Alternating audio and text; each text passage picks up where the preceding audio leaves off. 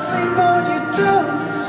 And when you're on the street, you've got to be able to pick up the easy meat with your